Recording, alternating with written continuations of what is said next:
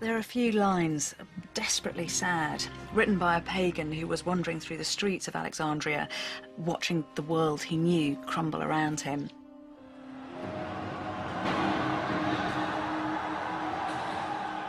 Is it true that we Greeks are really dead and only seem alive? And in our fallen state, we imagine that a dream is life. Or are we truly alive and is life itself dead? For some, Alexander's dream was becoming a living nightmare. After centuries of onslaught, only 1% of Alexandria's vast book collection has survived into the modern world.